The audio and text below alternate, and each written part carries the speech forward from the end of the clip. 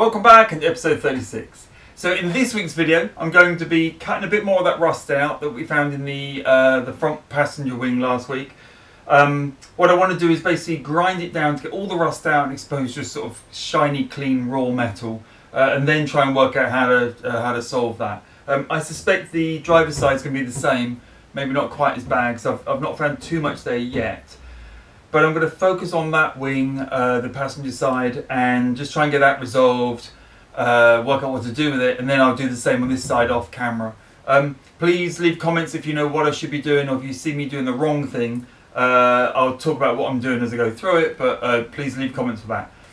Um, I'm also going to try and finish off the calipers, so the front calipers. They were sandblasted about three weeks ago. So I'm going to tidy those up, spray them and use the uh, rebuild kit that I bought uh, and try and get them sort of finished off and packed away somewhere. Um, so um, also please remember to click subscribe, click the like button and uh, keep sticking with me on this journey. But for now, let's just jump into the video and see where we go. Okay, so this uh, next job is going to be dismantling the calipers, getting the piston and the uh, rings out, and then we'll renew them uh, well, take them out first, spray this all up, uh, bake it in the oven so it's good and hard, and then we'll renew. Uh, I've got new piston, new rings, and new seal. Um, but first, this is in the way. To take the two parts apart, I need to pull this um, sort of spring out. I tried previously and I couldn't get it out, so let's give it another bash. I think I might go straight to heat and just sort of warm it up and then it'll pop out.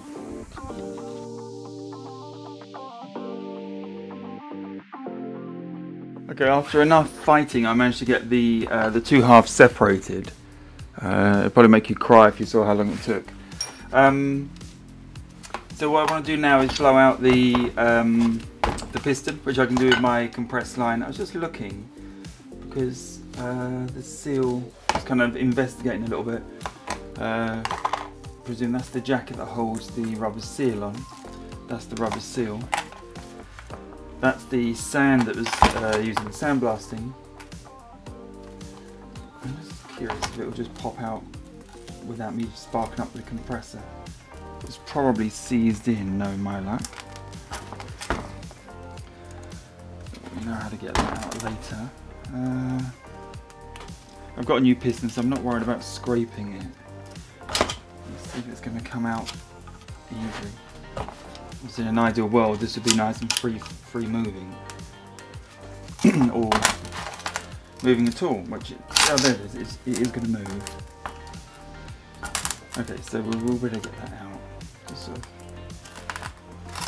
loose investigation.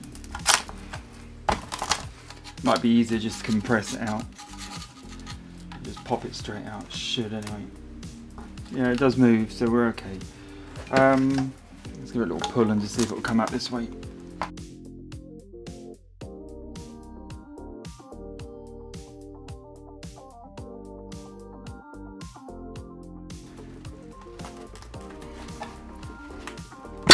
Right. Whew. Okay. So one piston out. Put on the side.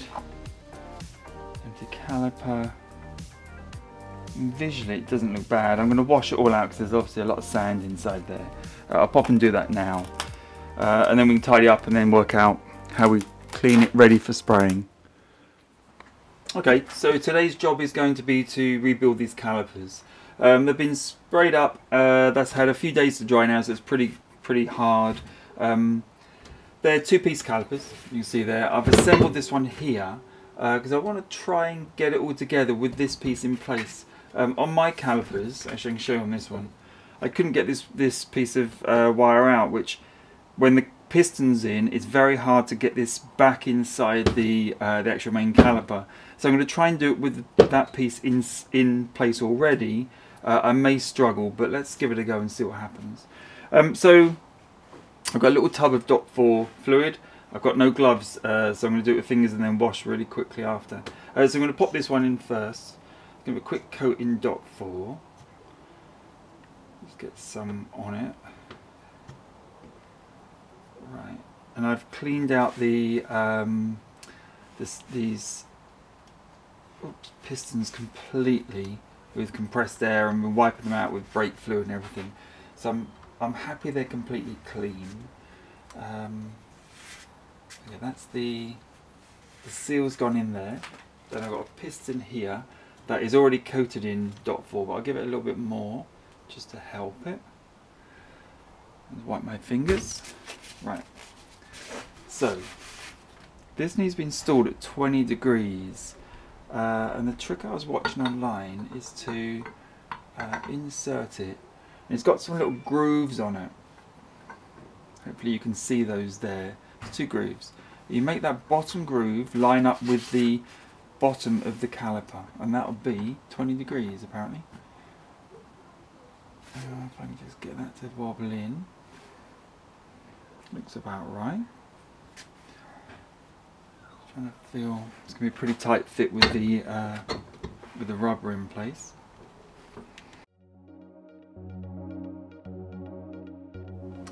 So this is using a C clamp, just very gently. Uh, it's not actually putting much force on it at all. Um, I'm rotating because I know it's putting force on one side, which is not great.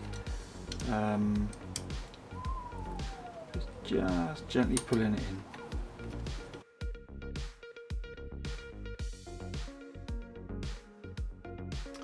Right, hopefully this is visible. Um, what we've got is the dust boot. So we just slide that over the piston. So I've left enough of it out there that I can get onto the the ridge. And should we just put, um, no, I think we're okay actually. Yeah, I put a little bit of dot on it. Just around that lip. Just a little splash. Okay, so just slide that down like that. Maybe that's sitting in the in the groove, which it is.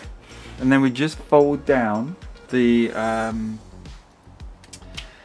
the sort of the, the whole dust boot and it will lip or catch over that lip. I think you can just see where my fingernail is. Uh, and this is where it's to be tricky because I've put this part of the caliper in. I'm just going to check if it's easier if I extend that bit of the caliper out. Let's have a look that comes out like that. The whole problem is um, getting this piece in with the uh, with that wire in place is very tricky.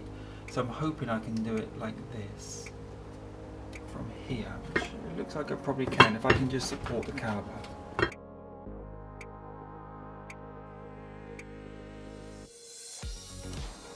Like that. Okay, so that now again you can't really tell but that dust boot is all the way round uh, and the, in the piston groove as well so then we just need to get one of these retaining rings on uh, let's try and let's do it upside down. It won't keep popping down. Uh, I don't know how stretchy this is. Let's just have a go.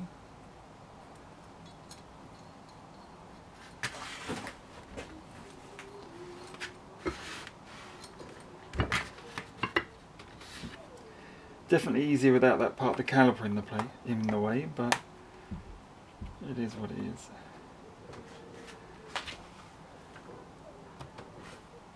So just trying to work out exactly where it should be, if it should be right at the back. Um, for where the groove is. Yeah, I think it should be right at the back, right there.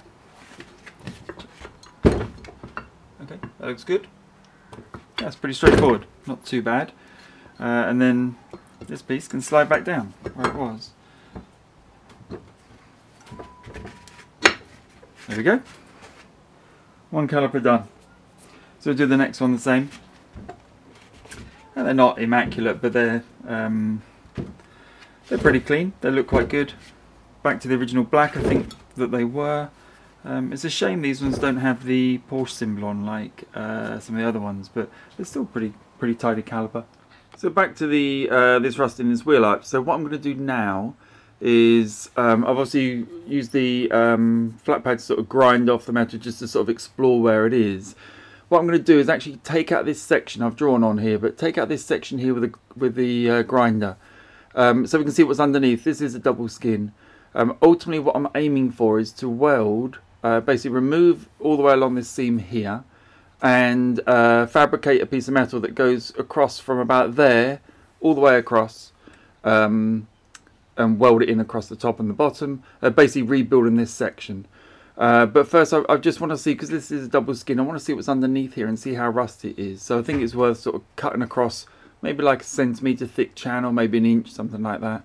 Uh, and then depending on what I find, I'll, I'll, sort of cut further up here. Maybe, you know, we'll end up, I don't want to go up as far as these holes, but somewhere along here and sort of cut across.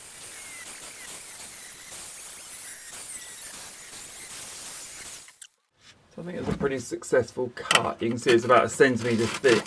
And you can see what's in there. It's basically rust. So it was well worth doing. Uh, I'll, I haven't actually looked at it yet, but um, ultimately I'm going to carry on up to about here somewhere, remove all of this under my screwdriver thing, uh, and then just explore how far up um, I need to cut off. What I want to do is basically, I, I, want something that I can weld onto, so uh, probably roughly where I'm drawing there. Uh, but let's find out what's under here and treat all this under here. There's obviously a hole here as well, which I'm going to sort of, um, I just want to explore what's there. I can I can expose and weld over the whole thing, but I want it all open first so I can treat it. Same down this end here, there's obviously a hole here.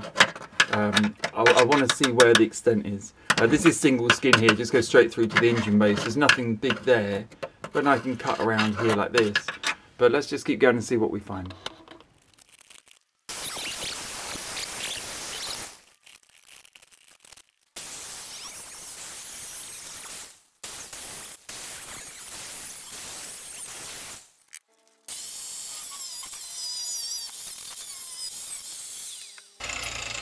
Right, let's have a look.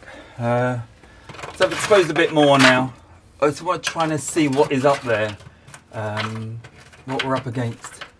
So that's another skin there. Another. trying to ascertain how much rust there is and where it starts and where it stops. Um, this I'm going to remove in a second.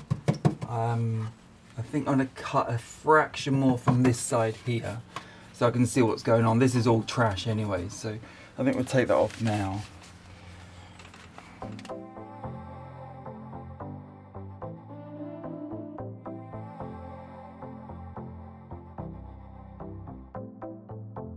Give you a bit more of a zoom in of where I've got to. So that's taken out about I guess about three centimeter strip uh, along here. You can see it's width of my two fingers um, straight across there so I can expose and see what's going on. A little bit more corrosion here. Uh, the underside of this seems solid. Uh, this is the original weld of the bottom of this plate that comes down. That's pretty solid, obviously. Uh, corrosion here and where are we? Here. Uh, I need to sort of sort out. I'm still cutting away here a little bit more. Um, what I'm curious is here. So I'm just sort of further investigating here. Um, I'll expose a bit more along here so there's something to weld onto. But you can sort of see the shape of roughly what I'm going to fabricate to fit in there, uh, welding top to bottom. So it sort of keeps that structural uh, rigidity. Uh, but we're getting there, slowly. Obviously this is all new work for me, but we're slowly getting there.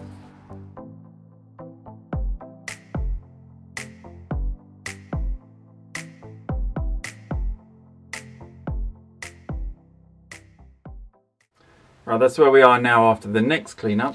Uh, obviously I punched a hole through here, so that was corroded through here into this box section. So I need to get in there and actually have a proper look at it. Um, I've literally just done that now. Uh, but I've tied up a bit more around here, exposed a bit more here, looks okay. Um, yeah, there's quite a bit of corrosion around here. Okay, so this is where I've got to with the, um, I suppose you call it the suspension tidy up. The hole that I found, the rust, I initially found it just here, then I've exposed more and more and I found it's come through this uh, cross member. Um, I'm just been grinding away, sort of cleaning it out. I'm pretty much there, I think. I mean, there's a little tiny bit more to do. Um, I'm not sure how it comes out on camera, but um, it's all just exposed metal. It reflects differently, different places, but uh, it's pretty much clean now. Um, so there's a tiny bit more here I need to get at, and same the other side, uh, just to sort of take the rust off. So I'm going to treat that with Rust Killer. There's a couple of places I can't quite get to, sort of up underneath here. Um, I don't want to take any more out there, so I'm going to sort of basically treat it, uh, make sure it converts all the rust over, and then uh, my plan is to put one plate across here. So basically one plate to repair the cross member. That'll be tight um, straight across, welded on like that. Basically welded against this seam. Uh, and then the second plate I'm going to build um, will probably go, it will go from this line across the new plate down to the bottom. It's kind of how it was before and all the way across to here and there. Um, but before I do that I need to obviously kill everything um, and just make sure it's all sort of safe and not going to rust anymore. But it's getting there, not too bad. Um, I've not exposed much on the other side yet, but I'm probably expecting similar. Maybe I don't think it's quite as bad on the other side, but um, we'll get this side sorted and then we can come back and do the other side. So I think that wraps up this week. Um, I'm quite pleased. I'm not pleased how much rust I've found, but I'm quite pleased how it's cleaned up. I think I've exposed it. I've traced around um, sort of about, a, I suppose, about a centimetre, an inch all the way around the rust. Uh, I've made sure everything around it is solid. Uh, all the rust is taken out. Um, there's, there's one more bit I just want to go on a little bit more. But generally, I'm happy I've got everything there. Um, I've got some sheet metal and I'm going to start templating and cutting out strips. I think I can do it in two sections. I think I said in one of the earlier videos.